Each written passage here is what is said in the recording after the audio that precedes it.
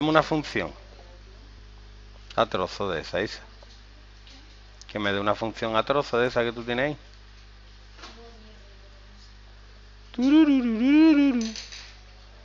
Esta misma. 2 menos x cuadrado y x partido 2 menos 3.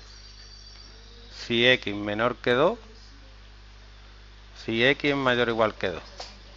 Y que veces es continuo en x igual a 2, ¿vale? Bueno, estas funciones son continuas en el resto del dominio, así que no hay que preocuparse.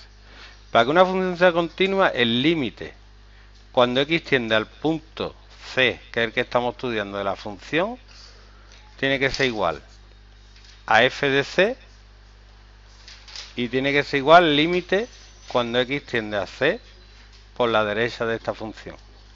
¿Tú cómo ves esta función? Yo la veo así.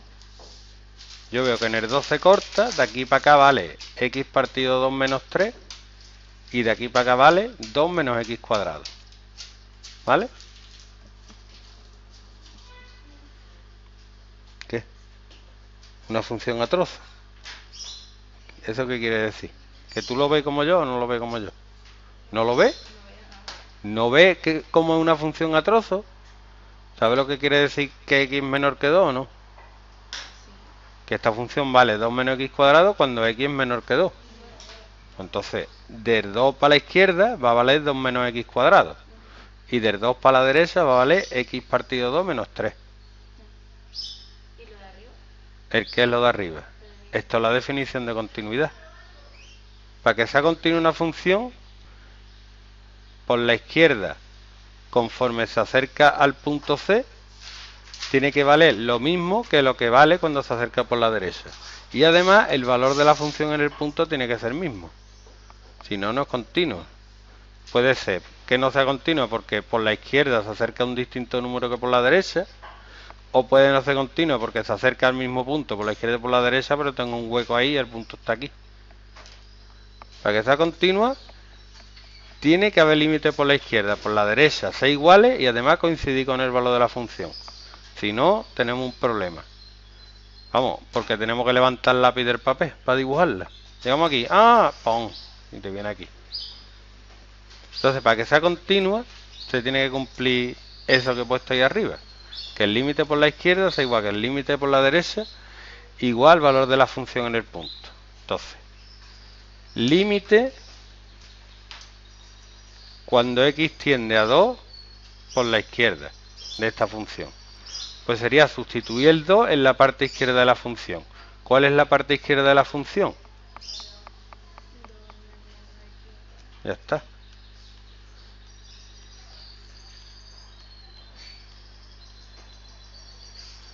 ¿Cuál es el límite cuando x tiende a 2 por la derecha? Sustituir 2 en la parte derecha de la función.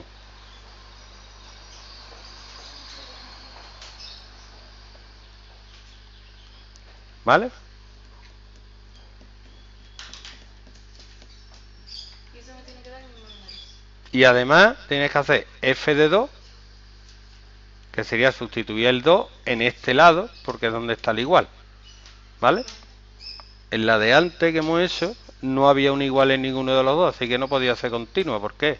Porque no había f de 2.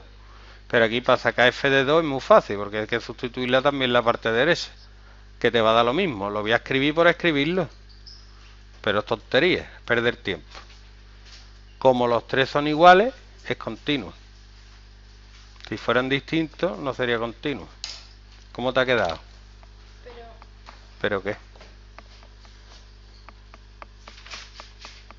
¿no tiene que cumplir las tres condiciones? Sí. Que las tres sean iguales, ¿no? Son las tres iguales. ¿Cuáles son las tres condiciones? Que, A ver. que exista... Sí, que exista. Lo que pasa es que yo eso no lo he puesto. Yo he puesto directamente que sean iguales, suponiendo que van a existir. Si no existen, no puede ser continua ni nada.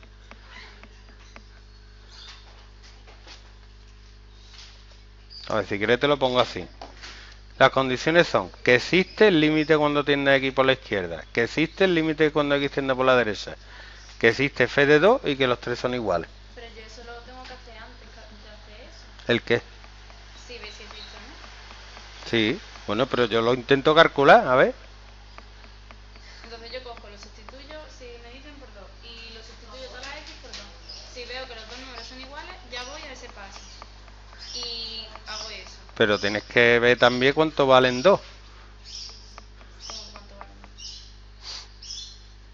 Yo calculo el límite por la izquierda, el límite por la derecha y en 2, el valor de la función en 2.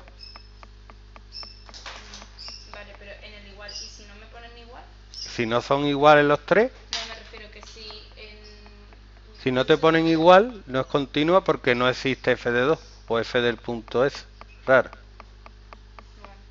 Y luego aquí pone, la primera y la segunda condición tienen que ser f de c igual a l, al número. Que te tiene que dar un número, si te da infinito no es continua. Ya está. Y como me da infinito... Pues porque después de infinito.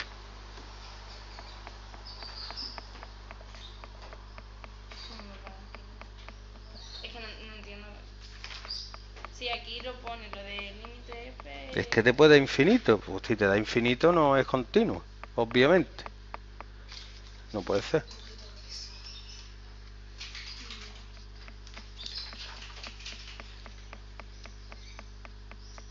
A tu el tercero.